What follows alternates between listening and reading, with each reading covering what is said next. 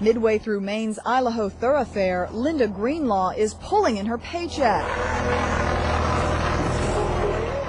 She's one of many fishermen lured to the business by the lobster population explosion.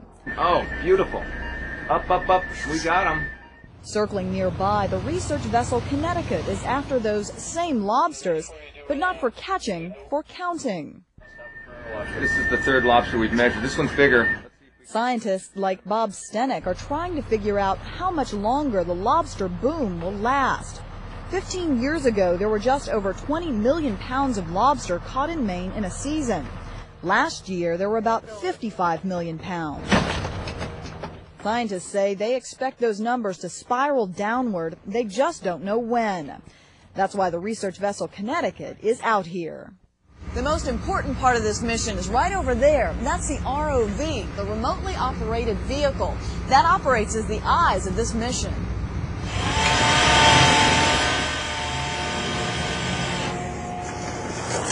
The ROV swims along the bottom of the ocean, feeding back video, tracking the adults and where they're breeding. These red lasers are beamed on the lobsters to measure their size. Sometimes they just actually come out and they want to fight with you, and we've actually had some attack the ROV.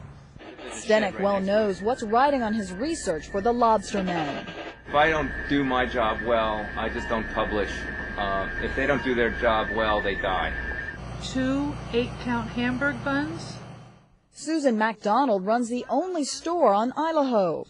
She says she doesn't go by what the scientists think. I trust what the fishermen know. MacDonald is the wife of an Isle au Haut lobsterman.